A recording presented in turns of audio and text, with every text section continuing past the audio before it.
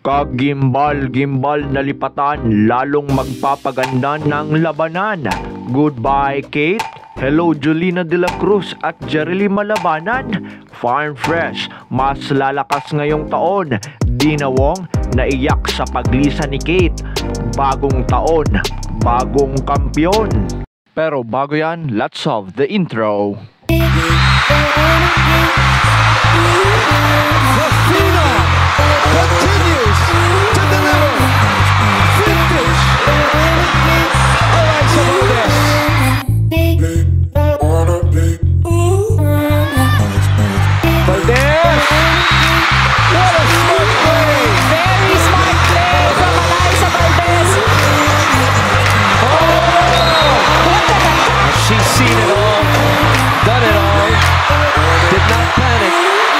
With the misstep. Matapos nga ang disbandment ng mga team sa PBL ay naging kabi-kabilaan ang lipatan ng mga players. Mga players nga sa After Logistics ang talagang inaasahan na lilipat sa mga team na medyo kulang pa sa weapon.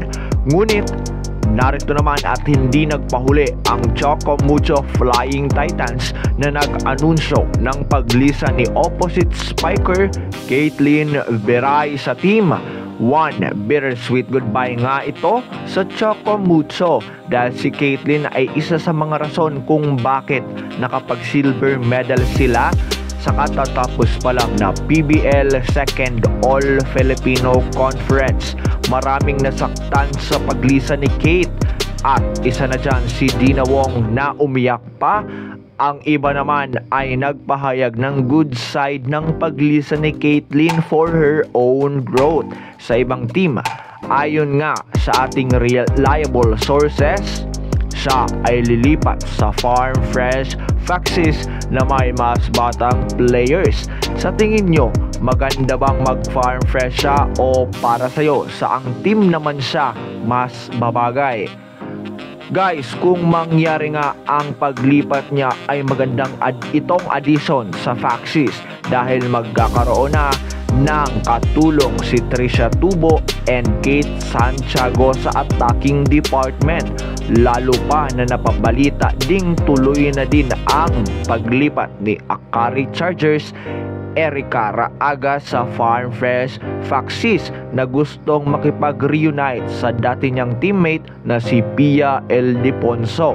Ngayon nga ay hindi na dapat natin pagdudahan ang kakayanan ni Caitlyn Beray dahil alam naman natin na kung saan man siyang team mapunta ay magdi-deliver ito dahil kita naman natin kung gaano siya nag-grow from bench player to starting six sa Choco Mucho. Matapos nga dati ang absence ni Kat Tolentino dahil sa pagtamo niya ng injury na siyang nag-fill out ng kakulangan sa team at nabigyan niya naman ng hustisya. Kaya madalas na itong ipasok ni Coach Dante lalo na sa mga crucial moment. Maraming naghinagpis sa balitang ito lalo na ang fans ni Dina Wong dahil nga sobrang close nga ng dalawa at darling pa kung tawagin si Caitlyn. Ang paglipat na nga niya sa Faxis ay wala pang opisyal na anunsyo. Ngayon nga, ang lahat ng ito ay galing lamang sa ating mga reliable sources na si Mother Lily na kung saan siya ang nagbibigay ng clue sa atin kung saan lilipat ang mga players at talaga namang accurate naman ang lahat ng ito.